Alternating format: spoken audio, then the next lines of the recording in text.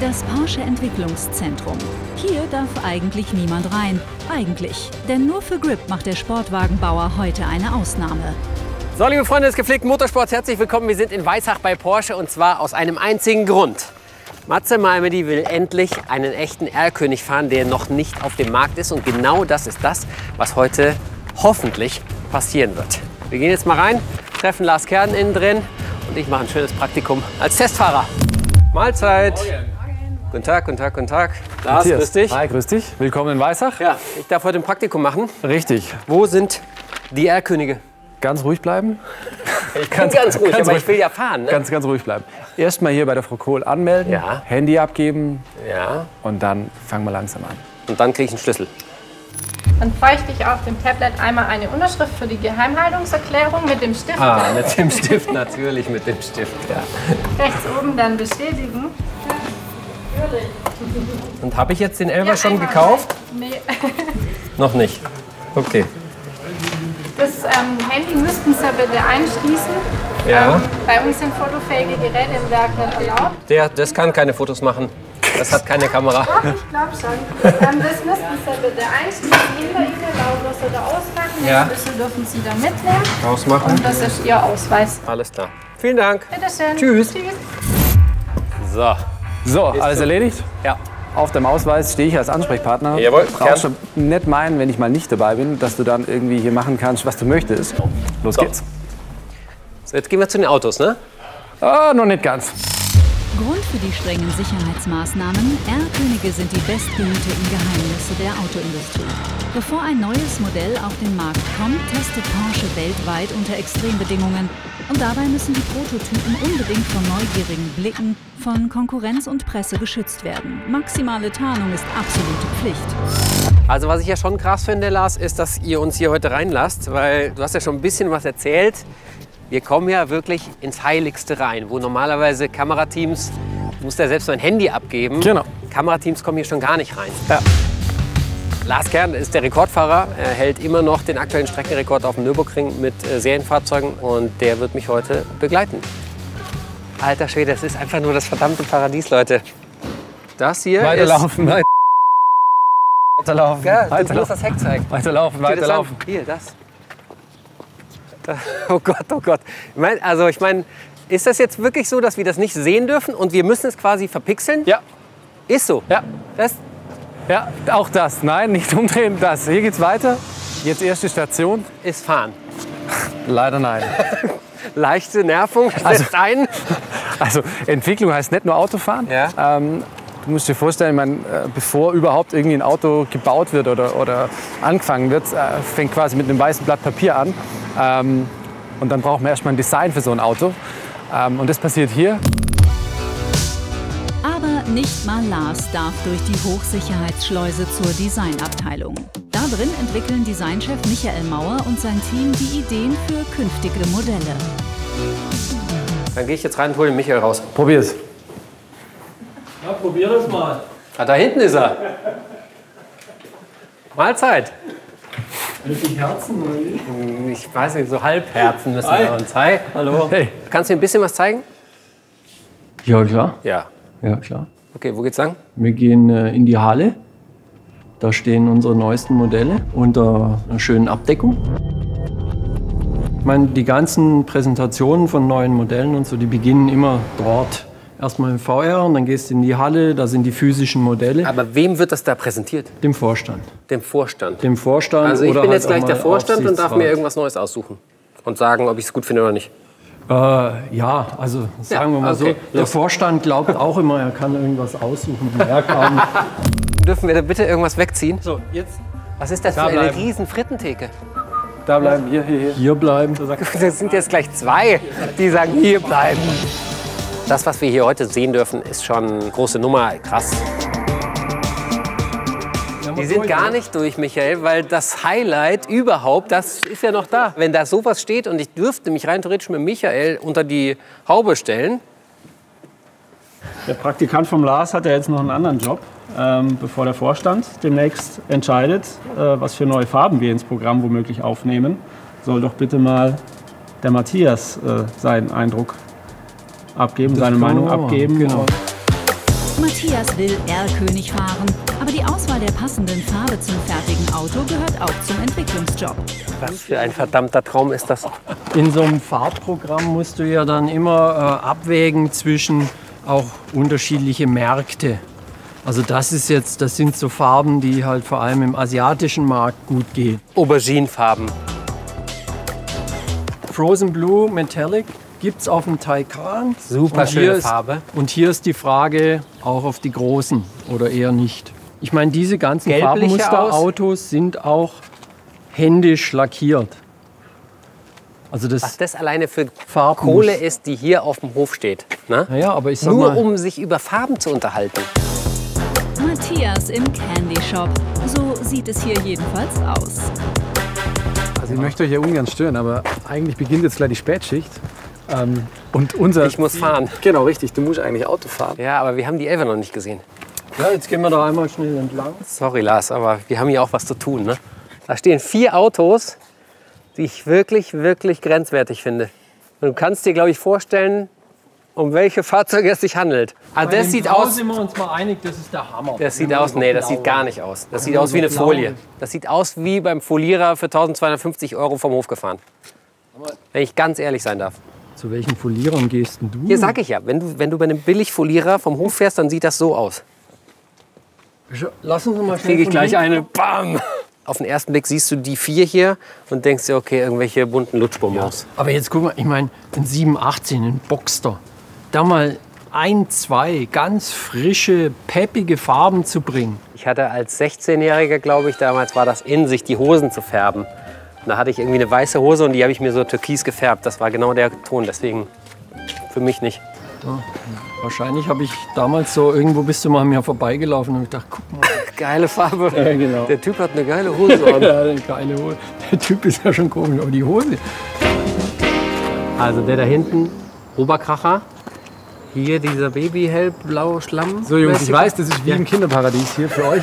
Ähm, aber jetzt ist ja gut, wir, Erwachsenenparadies. wir, wir wollten was arbeiten. Ja. Ähm, die Schicht fängt halt an und wir wollten uns um das Thema Erlkönige noch kümmern. Yes. Wie entsteht ein Erlkönig? Wie wird er getarnt? Dafür gehen wir in den Konzeptbau.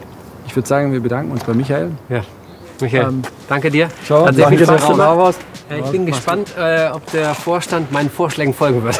Ich werde es dich wissen lassen. Danke dir. Viel Spaß. Ciao. Ciao.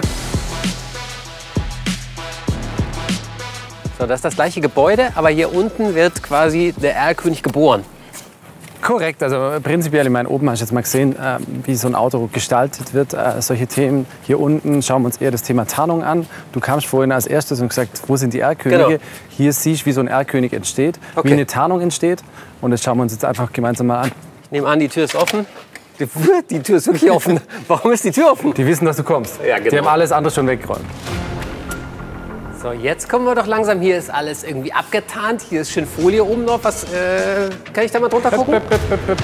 Nein, da? Nein, nein, nein, nein, nein, nein, nein, nein, einfach durchlaufen. Sporttourismus gefällt mir sehr, sehr gut, ne? Hier So, haben wir was für dich vorbereitet. Serienauto. Genau. Sieht aus wie ein neuer Macan. Ähm, Ist Sinn, ja auch ein neuer Macan. korrekt, richtig. Der, der, Sinn, der Sinn bei der Tarnerei ist immer quasi äh, das, das Vorgängermodell zu kopieren. Mhm. Und das probieren wir jetzt hier einfach mal. Wie gesagt, jetzt neuer Macan. Jetzt holen wir mal die Tarnung aus dem Kofferraum und machen aus dem neuen Macan mal ein Vorgängermodell. Ah, okay. Und jetzt an dem Auto können wir es zeigen, weil alles schon, die ganze Welt weiß, wie das Auto aussieht. ne? Korrekt. Und deswegen können wir, okay. Krass. So, kleb mal die linke Rückleuchte. Also man denkt ja immer, dass das so eine Billungfolie ist, ne? aber das ist halt ein Porsche gefertigtes Teil, was eine Flexibilität hat, dass es halt schön zu handeln ist. Äh, steht irgendein Aufkleber drauf, Tarnung hinten links, Farbe Glanz schwarz 041, alles klar. Ja, also ich finde es verwunderlich. Normalerweise kennt man R-Könige natürlich nur mit diesem Zebra-Look, irgendwie psychedelische Muster, wo du so äh, denkst, wenn du das Auto siehst. Aber es ist natürlich schlau zu sagen, hör mal, wir kleben die wichtigen Teile ab, sodass erstmal kein Fotograf auf die Idee kommt, das Ding zu fotografieren. Jetzt sieht er aus wie der alte Macan. Also fast. Und das macht ihr dann rund ums Auto. Komplett, Genau. also bei einem voll verkleideten ist dann das hier auch noch weg und dann habt ihr ja manchmal auch hier nur so, äh, wie sagt man, so Vlies drauf. Es kommt einfach drauf hier an, irgendwas sehen kann. welche Designmerkmale neu sind Ja. und welche man eben verschleiern muss. Wie gesagt, jetzt beim Macan war eben dieses durchgehende Leuchtenband, was man eben so lange wie möglich geheim halten wollte. Deswegen hat man quasi den, den, äh, die Rückscheinwerfer so kaschiert. Okay, Lars, Ja. du hast mir versprochen, dass ich heute einen Prototyp fahren darf, einen Erlkönig. Ja, korrekt. Wo? Wann? Diese Richtung. Diese Richtung. Da lang. Gut.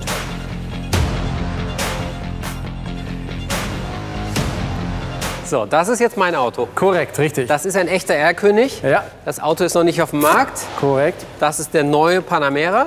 Facelift. Ja. Ähm, Produktaufwertung nennen wir es. Produktaufwertung. Genau. Okay. Ähm, das Auto, jetzt wo wir drehen, ist es noch lange nicht auf dem Markt. Wenn wir ausstrahlen, also jetzt in diesem Moment, gibt es das Auto auch noch nicht. Erst in zwei Wochen wird gezeigt, wie er wirklich aussieht. Zu Darfst du nichts drüber sagen? Genau, richtig. Das Auto ist abgeklebt. Das ist noch nicht auf dem Markt. Keiner kennt das Auto so, wie es da steht. Auch ich habe es nicht gesehen, weil es abgeklebt ist. Klar bin ich jetzt Porsche-Testfahrer, Praktikant.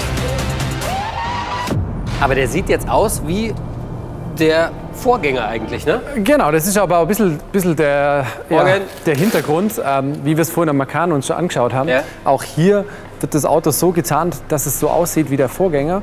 Das ist ja tatsächlich relativ rough gemacht. Das hier habt ihr jetzt selber schon gemacht und das ist halt einfach irgendwie festgetaped. Ja. Also das kann ich auch. Mit Blasen und so, ne? Mit Blasenbildung. Bitteschön. So, das muss jetzt, warte mal, ich gucke mir das einmal kurz auf der anderen Seite an. Da muss das hin. An da. Ist das schon richtig rum? Ja, muss ja so sein. Ah, das kann jetzt richtig peinlich werden. so, ich gebe das mal da so hin. Pass auf, das wird jetzt schöner als vorher. Komm her. So. So macht man das bei Erlkönig. Das ist einfach egal. Das muss, es darf einfach nicht erkennbar sein, wie es wirklich aussieht. Aber es geht nicht um Schönheit. Aber dann ist der jetzt fertig. Ja? Der ist abgenommen. Ja. Ich kann losfahren. Ja. Zwei Fragen habe ich. Klar. Warum ist das Lenkrad abgedeckt? Weil neu und weil getarnt. Darf ich, ich muss es ja abmachen, ne? Genau, ja. Das heißt, Fahren der muss jetzt, du darfst da nicht hinfilmen. Genau. Das macht Sinn. Das, Das weniger. macht keinen Sinn, sieht aber extrem gut aus. Und damit kommen wir zu meiner zweiten Frage. Warum ist hier ein Reifen-Profiltiefenmesser drin? Weil wir wissen, dass du heute mit dem Auto fährst. Wenn dir irgendwas auffällt jetzt beim Fahren, Ja. äh, betätigt den Trigger. Was für ein Trigger? Das ist das Kästchen da drüben. Das Kästle. Das Kästle, genau. Das hat einen roten Knopf. Ja, sehe ich. Wenn du jetzt eine Schaltung hast, wo du sagst, boah, die war jetzt nicht so super oder die Gasannahme war schlecht, Okay. draufdrücken und merken und heute Dann Abend zeichnet das Auto alle Daten, oder der Computer zeichnet alle Daten auf, die zwei Minuten vorher und zwei Minuten danach Genau. passiert sind, Genau. damit er dann nachher gucken kann, warum ist das passiert, was meinte der Idiot. korrekt. Also ich bin jetzt richtig Testfahrer dann. Du bist heute so richtig Testfahrer. Ich fahre vor dir weg Okay. und du folgst bitte unauffällig. Ja. Wenn der Klang gut ist, kann ich da schon mal draufdrücken auf den Trigger. Ah, mach ich einfach. Klang gut. Ja, dann rufen wir den Lars doch mal an, oder? Ja, Herr Praktikant. Herr Praktikant, ja schön. Ähm, ehrlich gesagt, Lars. Für mich ist das eine riesengroße Ehre und für mich geht echt ein Traum in Erfüllung, ne? Ja, du wirst sehen, es macht schon, es macht Spaß, es ist eine tolle Arbeit, aber es ist, ähm, es ist wirklich Arbeit. 0 auf 100 dürfen wir nicht sagen. V-Max dürfen wir auch noch nicht sagen. Außer schnell. Über 300. Preis? Fragezeichen. Teuer.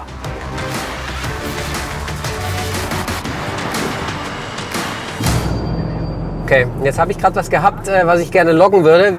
Soll ich dir sagen, was war? Ja, sprech. Also wir sind durch den Kreisverkehr gefahren und das Auto hat in, glaube ich, in den dritten Gang geschaltet. Und aus dem Kreisverkehr raus hätte ich lieber den zweiten gerne gehabt, im Kreisverkehr. Es ist gut, äh, so, sowas, äh, sowas zu notieren. Und die Jungs zum Beispiel in Weissach, die würden sich das jetzt anschauen oder werden sich das anschauen. Müssen Sie, weil ich habe ja einen roten Knopf gedrückt, ne?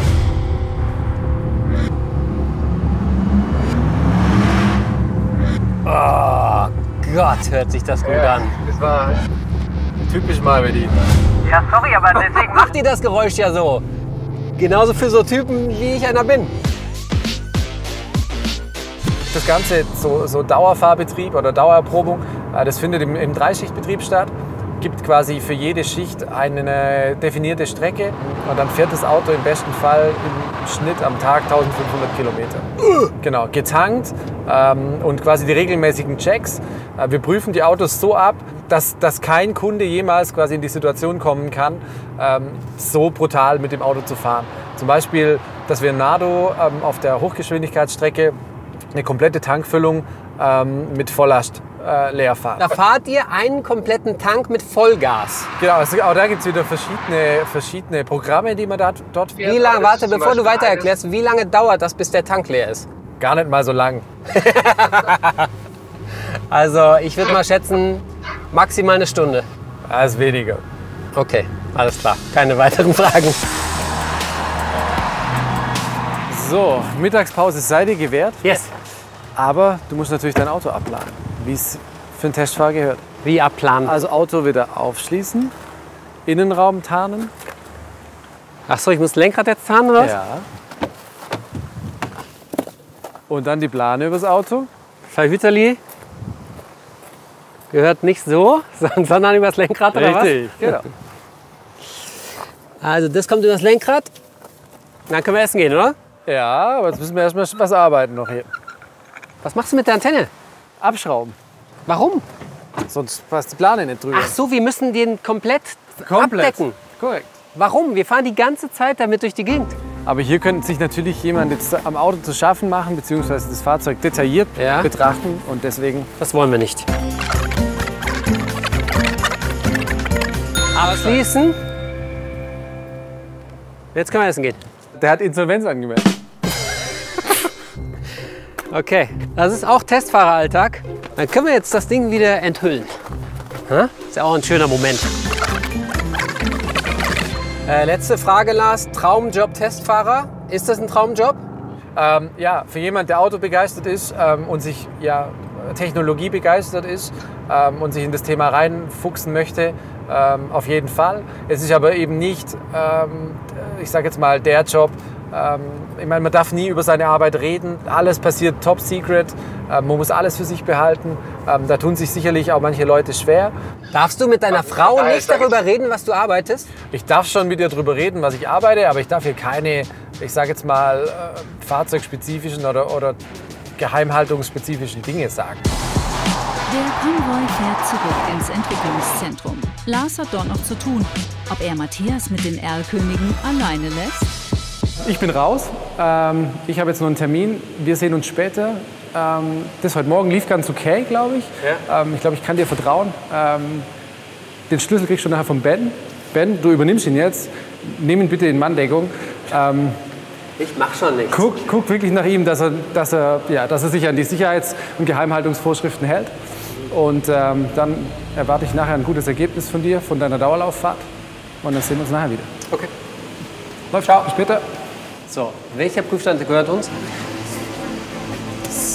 Ach so. Einmal. Runter. Jawohl. Ja, komm. Du Alter, ist aber massiv. Ja. Also soll ja auch im Okay, Fall des also- Falles nichts passieren. So, Und da ist jetzt äh, Panamera Antriebsstrang dran. ein kompletter Antriebsstrang vom Panamera. Läuft jetzt gerade nicht, Morgen, weil die Herren. wir würden unser eigenes Wort nicht verstehen, wenn der Ja. jetzt Vollgas laufen würde. Aber der läuft rund um die Uhr. Und das kann dir am besten der Gregor erzählen. Das ist hier der Chef. dich. Moin.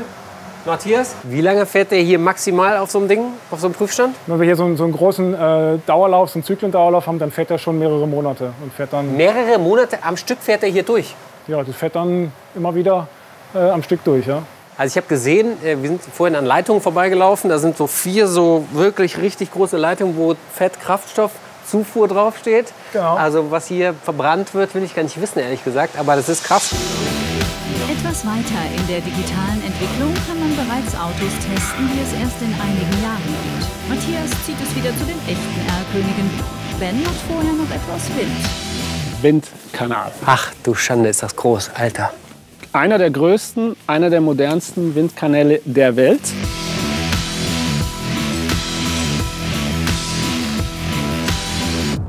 Also ganz ehrlich bin, was wir heute alles gucken dürfen bei euch, ne?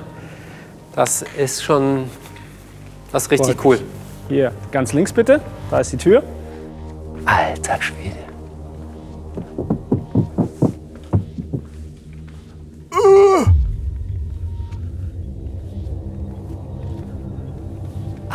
Du Schande. So ein bisschen wie der Föhn zu Hause, nur ein bisschen größer.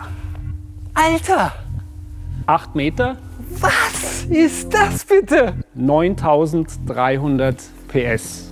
Alter. Ey, das ist hier, kannst du einen neuen James Bond Film drehen, ne, in dem Ding. Und dann wird hier der Bösewicht, hier kommt er dann durchgeflogen und wird einmal komplett in 256 Einzelteile hier durchgesiebt. Wam. Sehr, sehr seltsam. Ich sehe diesen neuen und ab hier wird gepixelt. Brauchen noch ein paar Daten raus. Leistung? Viel. Maximales Drehmoment? Hm, auch. Höchstdrehzahl? Oh, ja. Turbo? Fragezeichen. Sauger? Du sagst gar nichts, ne? Wir könnten jetzt rein theoretisch mal den Windkanal anschmeißen und mal 300 fahren, Die ne? sollten vorher rausgehen, weil sonst heißt es Malmedy vom Winde verweht. Aber äh, könnte ich mich nicht vielleicht reinsetzen, während wir 300 fahren? Was sind das für Fragen? Komm, wir gehen raus. Geht nicht also? War das die Antwort? Wenn ihr früher fertig seid, ne? Ruft mich an, ich komme vorbei, hol einen ab. Machen wir. Okay. So, Ben, was machen wir jetzt? Es wird gearbeitet. Lars hatte doch noch ein paar Aufgaben Genau, für ich dich. muss fahren, ja. Dauerlauf, Panamera. Los. Und zwar Spezial. Der Spezialauftrag findet auf dem Testgelände eines Automobilzulieferers statt. Hier darf Matthias seinen getarnten Porsche Panamera R-König heftig rannehmen. So, der Lars hat mir ein sehr entspanntes Testprozedere mitgegeben, was ich hier auf dem Bosch-Testkalender erledigen soll. Er hat gesagt, Matthias, denk dir einfach ein paar Sachen aus, die du wichtig findest. Und ich weiß ja, bei dir soll es immer ein bisschen qualmen. Ne? Ja, finde ich ganz gut. Eine Sache hat er mir mitgegeben, die ich unbedingt machen soll. Und das sind 20 Launch Control Starts. Das ist unfassbar. Das geht so extrem aufs Material. Also bei unseren Dreharbeiten machen wir vielleicht maximal fünf Launch Control Starts hintereinander. Einmal von vorne filmen, einmal von der Seite, einmal von hinten. Und dann sind das irgendwie fünf insgesamt, weil das so heftig aufs Material geht, dass wir immer sagen, nee, komm, wir schonen die Autos, lassen wir lieber, haben wir genug gemacht. Der Lars will, dass ich 20 mache. Ich bin sehr gespannt, ob das Fahrzeug das aushält. Vor allen Dingen im Vorserienstadium. Aber ich sag mal so, ich schätze mal, der Lars hat sich das ganz gut überlegt, weil der kennt mich ja, ne? Okay, ich stelle mich mal hier hin. Dann machen wir mal den ersten. 5000. Alter! Flügel fährt aus, wir haben 160 drauf. Alter Schwede, geht das schnell. Ach du Schande, 200. Ey, das ist ja ultra heftig. Wie der losgeht, das ist nicht mehr normal. Also, Sie haben ja alles geschärft. Aber den Allradantrieb vor allen Dingen, das merkst du total krass. Der geht noch heftiger zur Sache, wie das vorher der Fall war. Also, Nummer 1 haben wir. Nummer 2. Alter. 100. 150. 180. 200.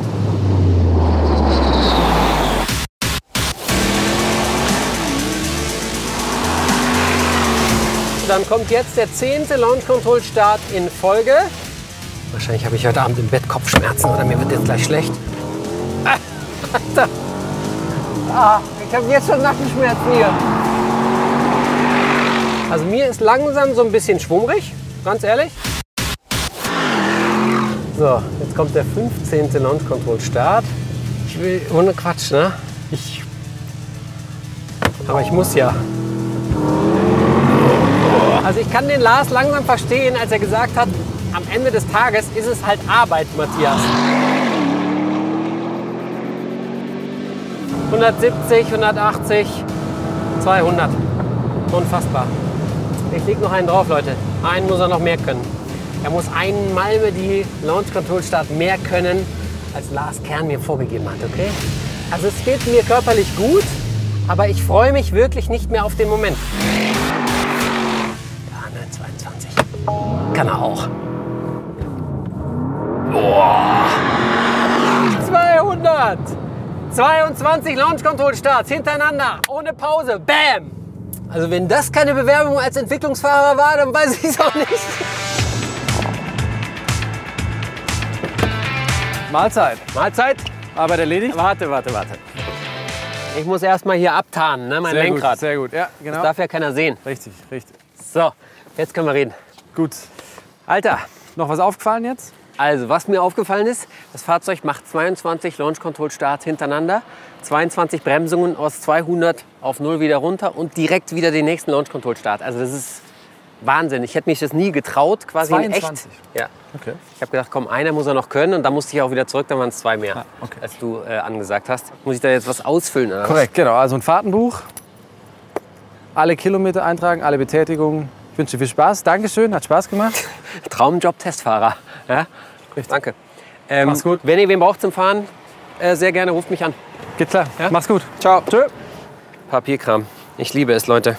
Das hättest du mir vorher sagen müssen, Lars, dass ich das ausfüllen muss. Also, das war mein Praktikum bei Porsche. Äh, Das Schriftliche eher so eine 5 minus, würde ich sagen. Das Praktische 2 plus gebe ich mir jetzt mal selber. Mir hat es ultra viel Spaß gemacht. Ich bin gespannt, was ich für Anrufe bekomme, wenn Sie die Karre ausgelesen haben. Tschüss.